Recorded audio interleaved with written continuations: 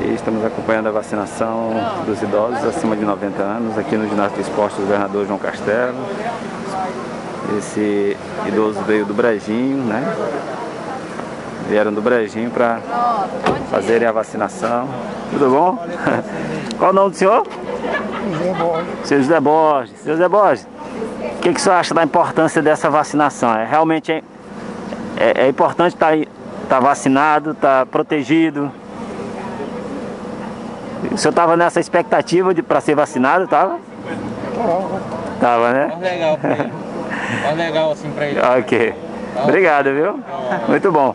Vocês são do Brejinho, correto? Brejinho. Eu sou daqui, mas ele é do Brejinho. Sim. Agora eu vou deixar ele lá de Vou novo. deixar de novo.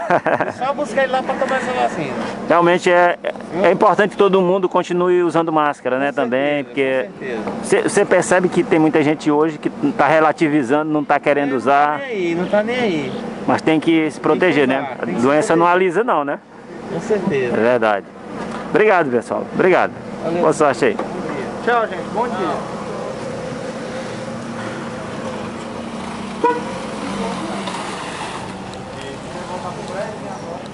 Olha aí. Esse aqui é o drive-thru. Serviço que está sendo oferecido aqui no ginásio de esporte, onde as pessoas vêm tanto da zona urbana quanto da zona rural, para fazer aqui também a vacinação. Né?